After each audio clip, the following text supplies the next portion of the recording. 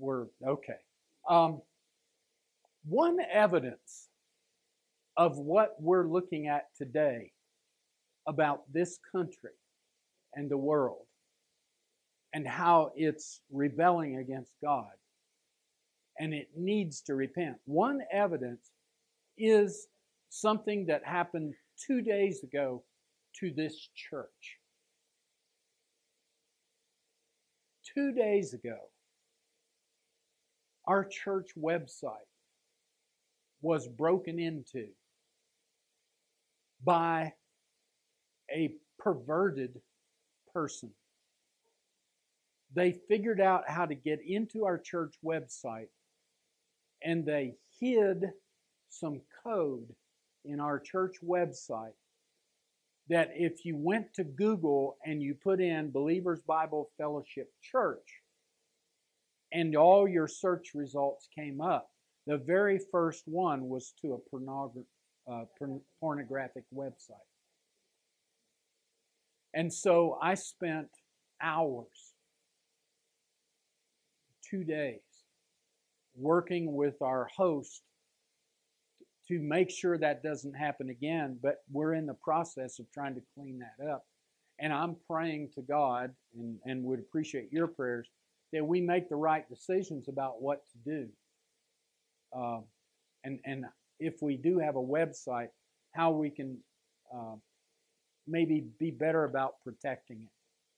But that's just evidence of the perverted uh, sin that's in this world that somebody would come into a church website to make it so that someone would end up on a pornographic website if they were searching for this church you know and these things are around us today and they're getting worse and today what we're going to look at and uh, and search out in the scriptures too is the nature and the personality of the United States of America.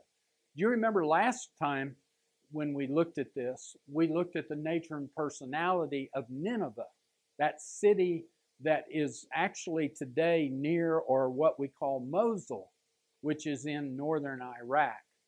And we looked at the demographics of that city, we looked at the gods that they served, we looked at the prophecies that God gave against that city, and uh, we got an idea about what Nineveh was like and why God was considering destroying Nineveh. Because we'd already seen that finally Jonah, after he got swallowed by a big fish and got thrown up on the, the seashore, he, he finally answered God's call and went to Nineveh. And when he did, they repented and God held back his judgment. So today we're looking at our country. And I've listed some things on the back of the bulletin or my sermon notes. Um, and I've listed some things about our country that are just uh, interesting because they, they uh, explain the size of our country and the extent of our country and, and what all's involved. And I'm going to give you a few uh, facts that are in addition to what is here. But let's look at some of these demographics about the United States of America. Now, some of these are from the previous census, the United States Census data. So they might be a few years old, but these are, these are pretty close to the way things are today. Our country, in terms of its size, takes up about 3.8 million square miles. So we, we are a, a large country compared, you know, to other countries in the world. Our population is estimated somewhere around 321 million people right now. If you divide the size of our country by the number of people, and we're only talking about an average here, so it's, going to be more in some places and less. But on the average, that works out to 84 individuals per square mile.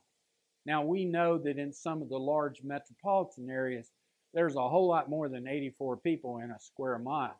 But we also know out in Montana and Idaho and some of these places that there's much uh, fewer than 84 people per square mile.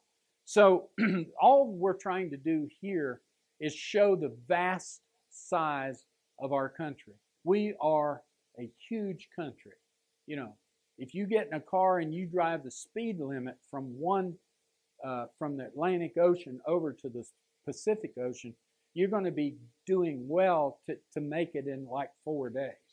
So it ta- it takes a while to get across our country. We are a large country with a large population uh, relative to some other countries.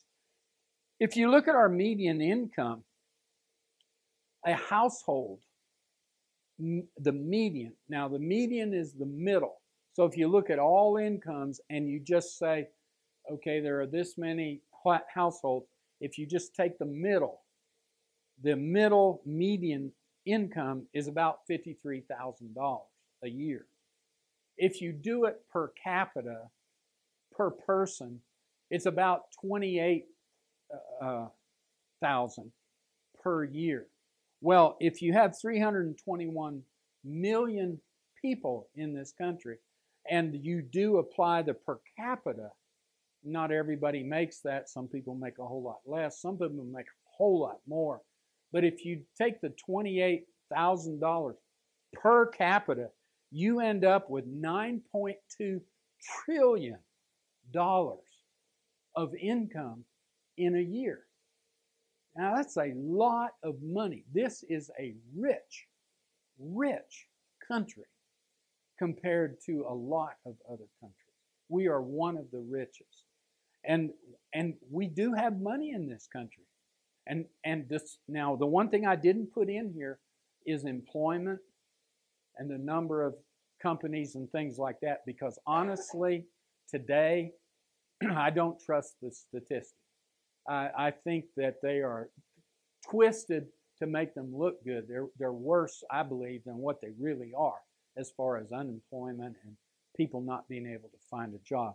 So you, so I, I really didn't put anything in here about that, but it is an issue.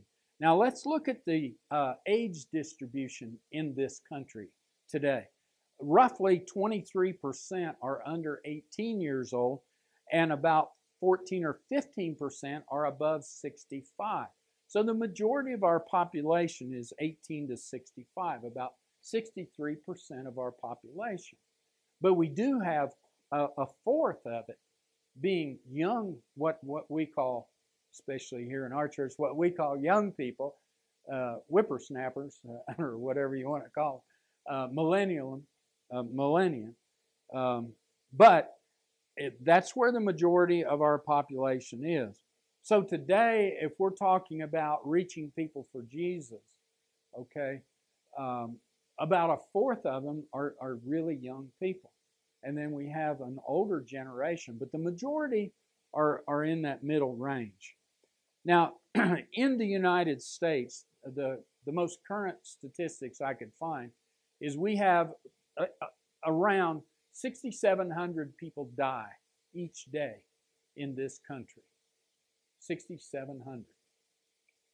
However, in any one day, on the average, there's about 12,000 births.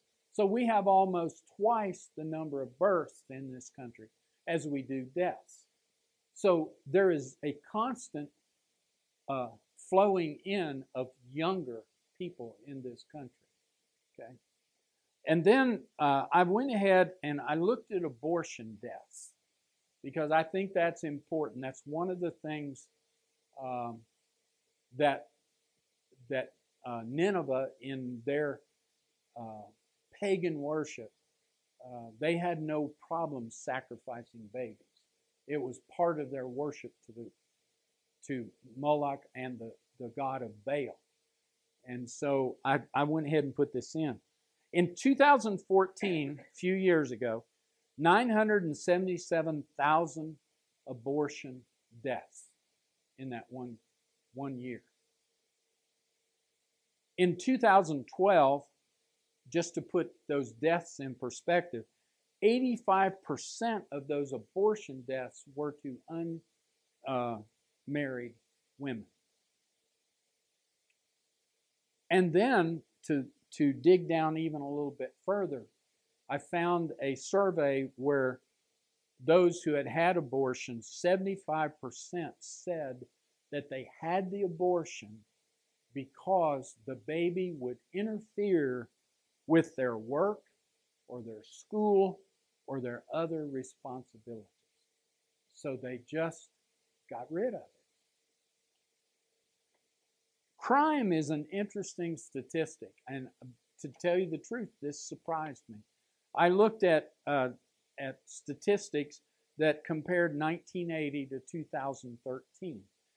In 1980, there were 597 violent crimes. That's murder, rape, the kind of violent crimes per 100,000 inhabitants. 597. Well, it dropped to 368 by 2013. So we've had a drop in violent crime, which is uh, encouraging, you know. Uh, burglary uh, went from 1684 per 100,000 inhabitants down to 610. And auto theft went from 502 down to 221.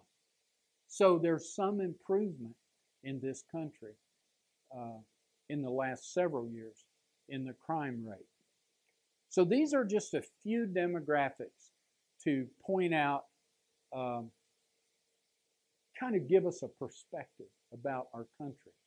Now, Glenn and Dorothy have have a, a, a, document here. They're going to. I think you made enough copies for everybody, didn't you? And uh, they'll they'll give you these, and it's worth sitting down and taking a look at. Um, did you already give them out? Okay, so you have these statistics, and uh, it's it's worth reading down through here. But it's the title of it is is an interesting title. America, the new mission field. You know, when we think of missionaries, we think of like Mike and we think about Jeanette, who were in Brazil. We think about going to another continent, even. But in fact, the mission field here is right, right now. And there's a lot of statistics here. Uh, churches, and these are the ones that caught my eye. Churches are losing uh, 2.7 million people per year in this country. People are, are stopping from attending church. Um, it only takes one year for 80% of new church plants to die, to just fold up, close the doors. Um, also, um, only 1% of churches that say they're evangelical are actually winning the unsaved. You know. um, 90% of people who claim to be a Christian have never won a soul to Jesus Christ, never participated in helping bring somebody to the Lord. Um, if we had the current rate of churches with our population growth, and we just saw that we are growing in population. If we had the current number of churches per uh, population growth, we would need 3,205 new churches each year to keep up with the growth. And yet, we have churches closing their doors. So, this country, is in, in a lot of cases, is upside down as far as uh, the direction that it's going. And I know just because somebody attends church does not necessarily mean they have a relationship with the Lord, but it's an indicator of the value that our population in this country place on a relationship with God. And so these are just uh, some statistics that are interesting. In my notes, I also talked a little bit about some statistics related to uh, different religions. Um, the first one that I listed for you is in this country today, about 71% of people say they are Christians.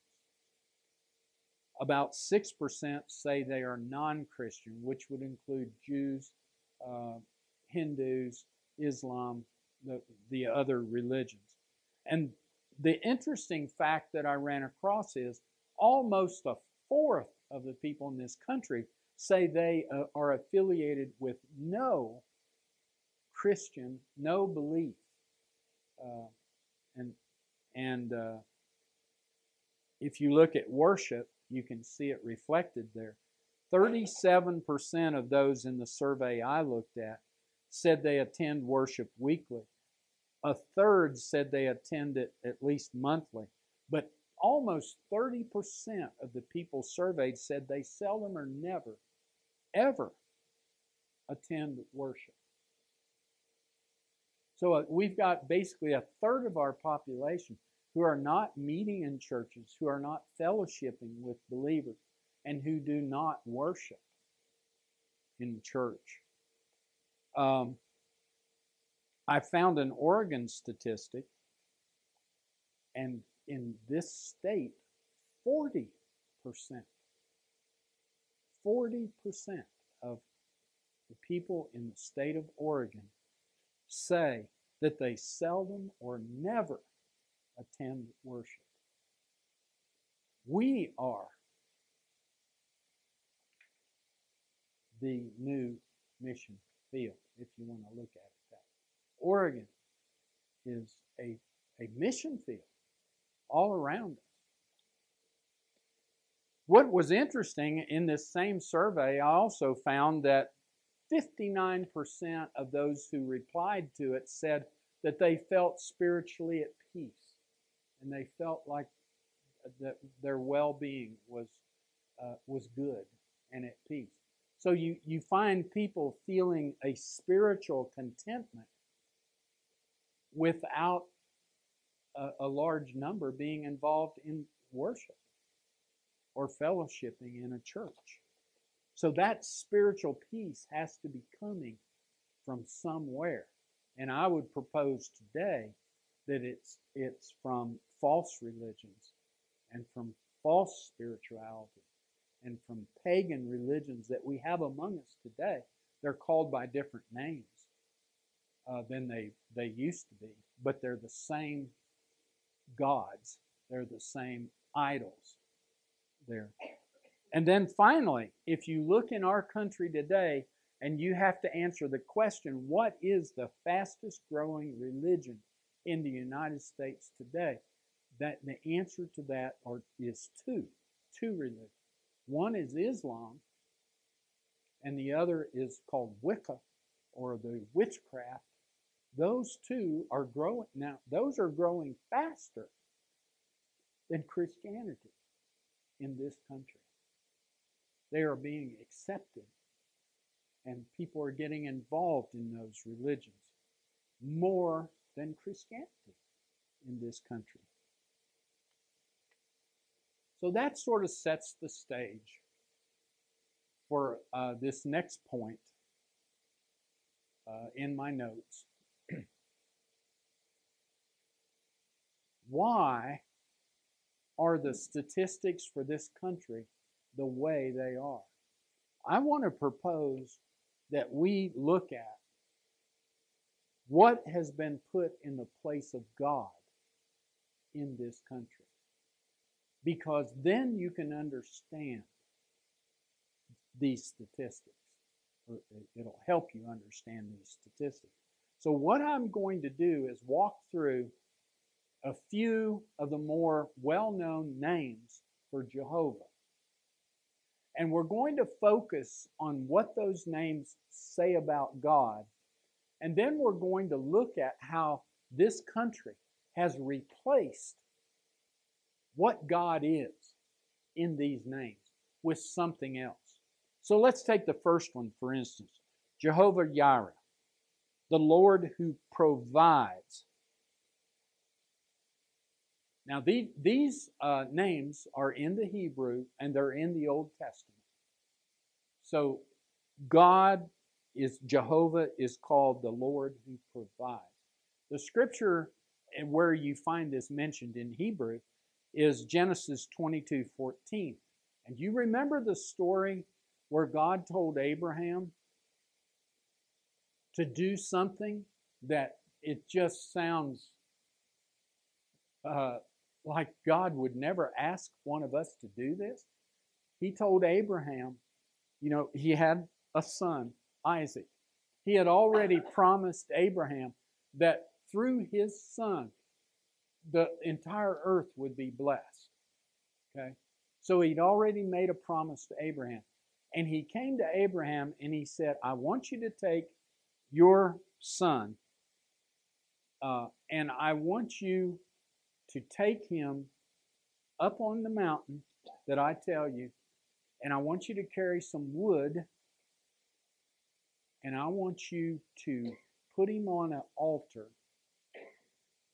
I want you to kill him with a knife, and I want you to burn him as a sacrifice to me. Wow. Now, I've had some dreams where I feel like God was talking to me. Some of you have had dreams or visions. I know you have because you've talked about where you felt like God gave you a word. How would you like to get that word in the middle of the night? Gary, you go take your youngest daughter, Betsy, who lives here in Bend, and you take her up somewhere up on Mount Bachelor and you take a knife and you put her on a pile of stones and you kill her and then you burn her body as a sacrifice to me. I, I can't imagine getting that word from God, but Abraham did. And he said, Absolutely not, God. And he turned around and he ran the other way. Is that right? Is that what he did? No. No, he didn't. He gets a a pack, probably a pack uh, mule or camel or something, or donkey. He loads it with wood. And his son says, Father, where are we going? And Abraham says, We're going up on the mountain here to offer sacrifice to God What would you say to your son if he turned around and said, Well, Father, I see the wood for the sacrifice. I see that we're going to go up and build an altar, but where is the lamb? Where is the sacrifice? Abraham had to tell him that he was the sacrifice. And you know what's interesting to me? You don't read that his son took off running down the mountain to get away. he actually went along with it. And Abraham put the wood on it, made an altar, put the wood up on the altar, tied him up on the altar, went so far as to have his hand raised, ready to kill him and an angel spoke to him at that moment, the angel of the Lord, and told him not to do it, and stopped him at the very moment. And God told Abraham, I now know that you have faith in me. I now know that you trust me because in your heart you were willing to do this. And we know from the scripture, it tells us that, do you remember what it said Abraham believed? If the scripture tells us that Abraham actually believed that if he killed his son, Isaac, that God would raise him up because of the promise that God had made that through his son all the earth would be blessed. Isn't that amazing? Well, when he didn't kill Isaac, he turned around and there stuck in the bushes was a ram with his horns hung up in the bushes. And that's where this phrase, Jehovah Jireh, comes from in this story because God provided. God provided. I did a little research, uh, listened to a rabbi uh, online teaching about this particular name of God. And he said it carries with it the idea of something God does at the exact right moment that it's needed. So it's not just that He provides, but He provides at the exact moment that the need is there. And He steps up and He is the provider. Well, as we go through each one of these this morning, I'm going to ask you where or how have we as a country turned against this, this uh, description of who God is? How have we turned against God the provider? Well, I want to propose to you that we have replaced him with other things and other people that we think are our provider. One, and, and I'll just mention a few of them. Uh, one of them is government. We have replaced God, some in this country, with government. Government is our provider. We give government credit. We give government thanks. We look to government. Now, I'm not saying that there aren't programs and provisions for us as a nation, but what I am saying is that we have focused on that as a nation as our provider. God is the one who gives us these things. God is the one who blesses us as a country. He is our provider. Okay? And we have pushed him aside, which is sin, which needs to be repented of. So, this is one area. I'll try to move through these fairly quickly because I have quite a few listed here. Jehovah Rapha. This is the God, this is the Lord who heals. Now, if you look at Exodus 15, and read these verses, you'll find that God is talking to the Israelites, and what He's saying to them if you will listen to me, if you will do what I ask you to do, and if you will follow my commands, I, the Lord, will bring none of the diseases on you that I put on the Egyptians. So he made it conditional. but it's very clear that he says, I will be the one who heals you. Now, it carries with it the idea of not that God is a physician or a doctor. It carries with it the idea that God is your doctor, and your doctor, and your doctor, and your doctor. He's our individual healer. Okay? And we have replaced God as our healer. Excuse me. We've done it. He blesses us with doctors, He blesses us with medicine.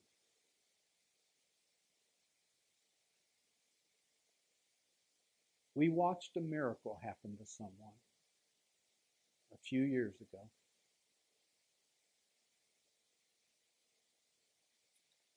And we all gave God the credit.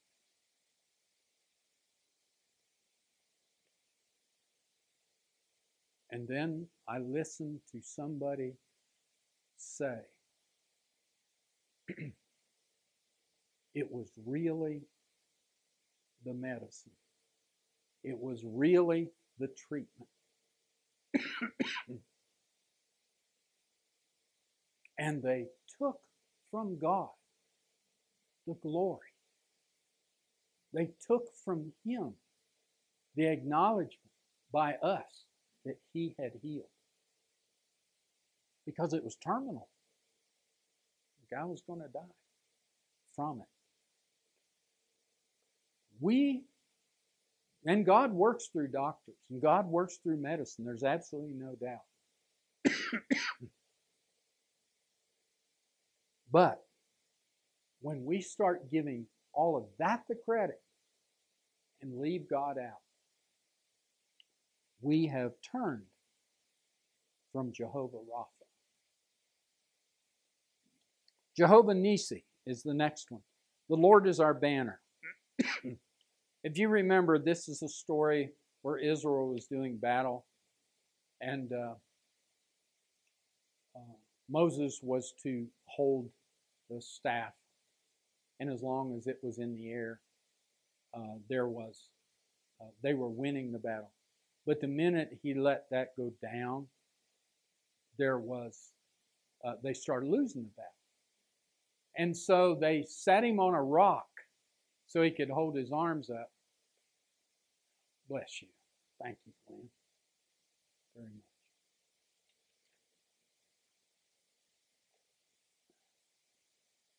And you know what they had to do? Because he got so tired? They had to come in and they had to hold his arms up for him, you know. And when it talks about he is our banner, uh, God is our, Jehovah is our banner, it's talking about us lifting up our, our lives to God and relying on Him to be our banner. And as long as we hold God up in our lives, uh, we can be strong in the Lord. The minute we allow Him to not be our banner and we replace Him with other things that we hold up, then uh, we begin to lose the battle uh, and, and we can be attacked. Um, Jehovah Raah, this is the Lord is my shepherd, and typically uh, Psalms 23 is used here, but I've given you Genesis 48 15 because here um, the scripture talks about being fed all my life. It's talking about a shepherd feeding the sheep. God is our shepherd. He leads us into pastures. He leads us where we need to be fed. He takes the uh, the the flies that try to get in a sheep's nose. He he keeps that all clean. Uh, he looks out for the wolves in our life. God is our shepherd, Jehovah. Now, this country has turned from him as a shepherd and is looking for other people and other things to be shepherds, to provide, to protect, uh, to care for, and to provide pasture. Okay. Um, Tsidkenu, Jehovah Tsidkenu, the Lord is our righteousness. This is talking about uh, and Jeremiah is where we find this in 23. This is talking about we have a king who brings about law and order, is what this means of Jehovah.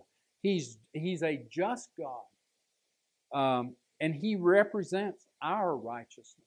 It is not us who are righteous, he is righteous. And our righteousness comes from him. Well, we in this country have turned away from God as righteousness, and we have made other things be our righteousness. Okay? And and we judge people and cities and government based on our righteousness and what we do that makes us right, when in fact it's God and His righteousness that we should be depending upon. Two others quickly here. Jehovah Shalom. This is the Lord is is our peace or my peace. You know, when when Jews meet, they don't say hello. They say shalom. It, and it, it means peace in Hebrew. But it carries with it the idea of peace in all areas of your life. Not just you're not in a battle, but peace in your finances, peace in your health, peace in your family, uh, peace in whatever work you're called to do, peace in your relationship with God. It is much more than what we probably think of when we hear the word peace. Well, we have replaced that. We have replaced God as a country. And He is not this country's peace. Now, understand everything I'm saying. There are people in this country like us who are believers. Everybody in this country has not replaced God.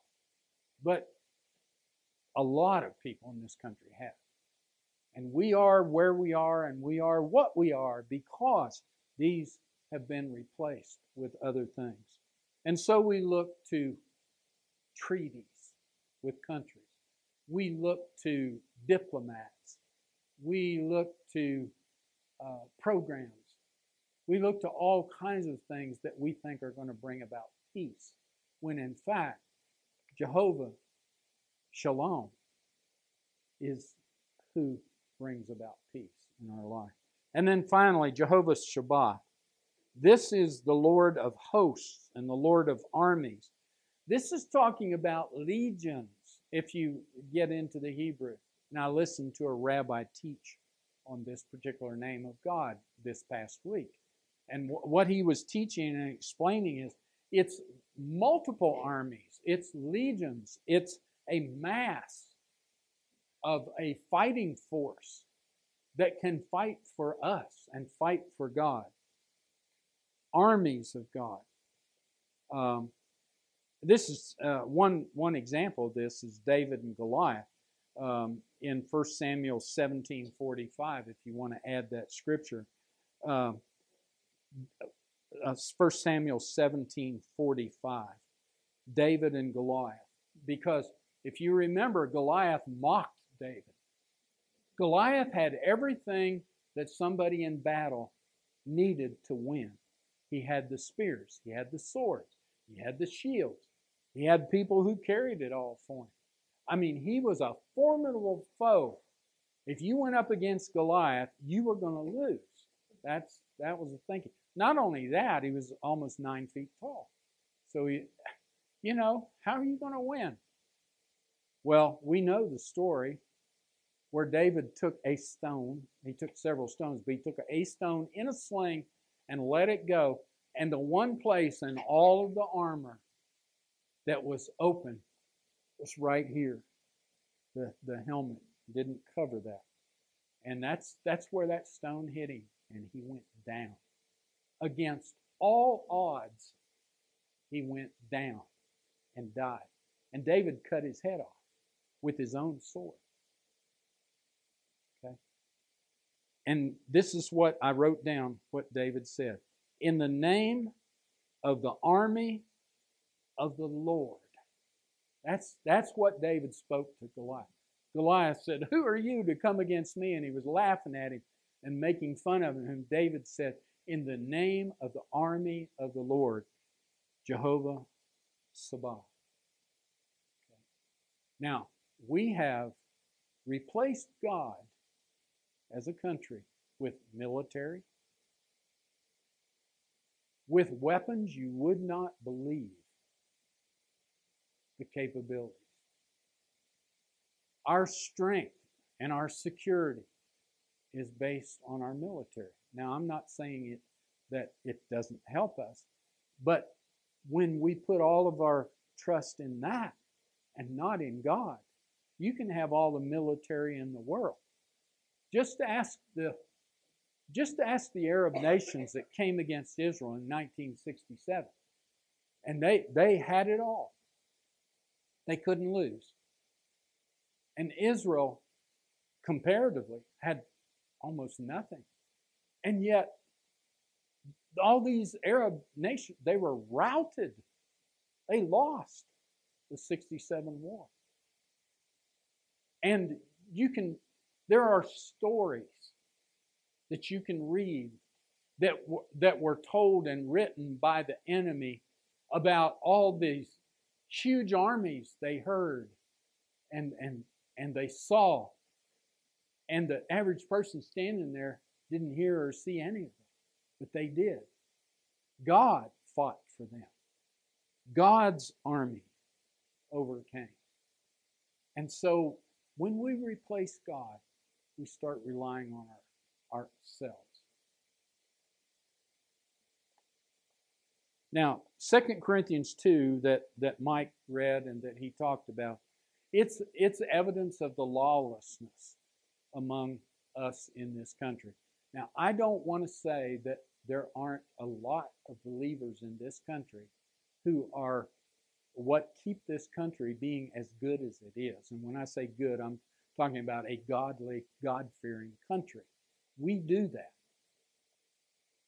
But if you look at the Ten Commandments and you walk down through them, and then you put the news today right beside those Ten Commandments, and you look at the news reports, and you look at the videos, and then you read down through, it's, it's the opposite of God's law and who God is. And a big part of our country has turned away from God. Not only that, they aren't just his laws, but this country has said we don't want to see those laws in public. You can't take religion and put it in public government. And so you can't have the Ten Commandments in a courthouse that's trying to make decisions about people's lives and whether they know it or not, a lot of those decisions are based on these Ten Commandments, these Ten Principles. And, and yet we, we take them down. You can't have them in your school. You can't teach them. The only place you can have them is in church. And we don't want anybody in church because you are bigots. You are racist. You are everything that the world wants to call you because you hold to these principles that are godly. Proverbs 6, 16 through 19. If you haven't read it lately, I want to encourage you to go read it. There are seven things that God hates. It's good just to go back and read those every now and then. The things that He hates. One of them that He hates, really hates, is the shedding of innocent blood. 977,000 innocent persons in the womb or partially out of the womb nowadays were killed because they weren't convenient. Go look at these seven things that God hates. And then, if you haven't already, pray for our country. Because those things, if you walk down through there, they're, they're just evident all around us. And it used to be, if you were caught up in any of those seven things, you were shunned by society, by your community. You were considered to somebody, as somebody who was lawless. Well, I want to end today on Isaiah 5:20. And the thought in this scripture is, and this is true in the last days, what is evil is called good. What is good is called evil. What Mike talked about with the transgender bathrooms. Something that's evil is being called good. And if you don't go along with it, you are called evil. Everything is, Satan is trying to turn things around so that this country will not serve God will not hold him up as all of these Jehovah's that we looked at, but they will look at him as a mean, vengeful God that you should reject and that you shouldn't follow. You shouldn't teach. You know, there will come a time, and it's already here a little bit, but there will come a time when anybody in a church like this who is teaching truth could end up in jail. Right now in the state of Oregon, you cannot decide who you will serve or not serve in your business based on your religious convictions. You're not allowed to do that anymore in this state. Just recently, the Supreme Court made it illegal for any state to refuse for people of the same sex to be married. You, you, it's a law now in this country, not just in this state, in this country. It's a law. so I, you know, I, do, I don't have a license to do marriages, and I, am probably not going to get one. Uh, you know, and, and there's some pluses and minuses about that. I've even had believers tell me, you know, you're you're you're being a coward here. But there are more important things, I think, if if people are just going to follow that false. Uh, it's really sin. It's a pagan religion, is what it is. It's part of what was in Sodom and Gomorrah. It's the reason God destroyed Sodom and Gomorrah. You know, and now it's legal here in this country. So, the important thing out of today is we as a country have a lot of good things. We have a lot of good people in this country. But we also have a lot in this country, things and people that are turning away from God and, and turning to something else when it should be God. And we need to repent as a country and turn back to God. Next week, we're going to look at God's warning to Nineveh. That'll be interesting. And then the week after, we're going to look at God's warning to this country. So, why don't we end in prayer and ask God's blessing on this word? Father, I, I just thank you for your word. It's so clear. You are so uh, revealing to us, God, letting us know who you are. All these names, God, that have been given to you, they, they represent who you are. And Lord, I pray that you will use this church in this community to begin to remind people of who you are and ask them to turn back to you and repent of replacing you, God. There is no replacement for you, but they try. Lord, we pray for salvation. We pray for repentance. We pray for revival in this country. And we thank you for using this little church to help bring that about. In Jesus' name, amen.